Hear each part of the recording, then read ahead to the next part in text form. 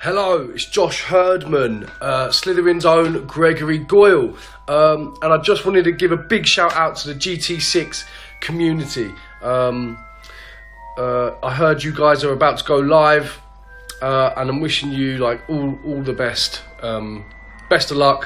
Hope it all goes, all hope it all goes to plan, um, and it's super successful. Um, yeah, I mean, you, what you guys are doing is uh, is a really cool thing, you know, and uh, you know, I'm sure there's a lot of people out there who appreciate it. Um, so yeah, massive shout out to you lot. Um, yeah, keep doing what you're doing. Take it easy. Peace.